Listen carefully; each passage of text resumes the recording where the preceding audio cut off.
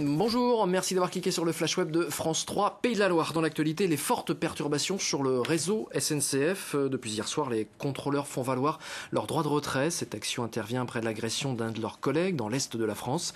Dans la matinée, la direction régionale de la SNCF dans les Pays de la Loire annonçait un trafic assuré à 75% et certaines lignes sont très difficiles et des cars ont été mis en place sur certaines liaisons. Vous voyez, certains trains sont restés à quai ce matin. Un reportage complet dans notre douce 13 et sur notre site internet une page avec plus d'infos et entre autres un lien direct vers la SNCF.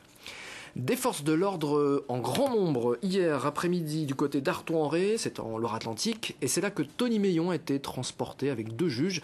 Le dispositif était très serré, hein. les journalistes ont été tenus à l'écart.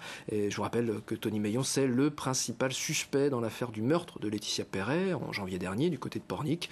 Selon le procureur de la République de Nantes, aucune avancée significative n'a été enregistrée lors de ce transport de justice.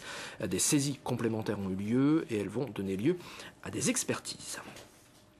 Pour se changer les, idées, une idée de sortie du côté du Mans avec la 25e heure du livre, invité d'honneur cette année, vous le voyez, l'Afrique au programme, beaucoup de livres bien sûr, mais aussi des expos du théâtre et même un espace jeunesse avec comme invité un certain Émile Jadoul. Si vous avez des petits, ça vous dit peut-être quelque chose.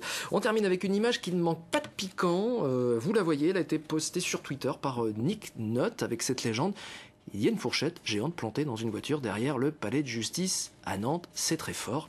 En effet, et on en apprend un petit peu plus sur le site de nos, confrères de Presse Océan. Euh, ils dévoilent euh, en fait l'envers du décor. C'est un coup de la compagnie royale de luxe, euh, une opération publicitaire pour un cuisiniste, pour être plus précis.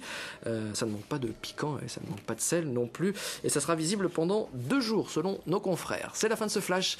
je vous dis à tout à l'heure en fin d'après-midi pour la mise à jour de ce flash, en fin d'après-midi ou avant si l'actualité le justifie. À tout à l'heure.